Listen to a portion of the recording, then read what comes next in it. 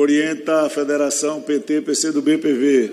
A Federação PT, PCdoB vota, vota sim.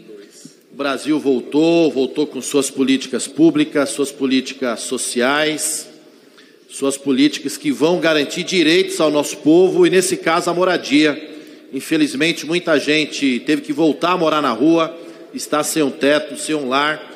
E o Minha Casa Minha Vida, para atender a faixa 1, justamente esse público, esse povo que mais precisa, é um compromisso do governo do presidente Lula. Como nós já tivemos em anos anteriores, em governos anteriores. O presidente Lula reconstruindo o Brasil com medidas importantes.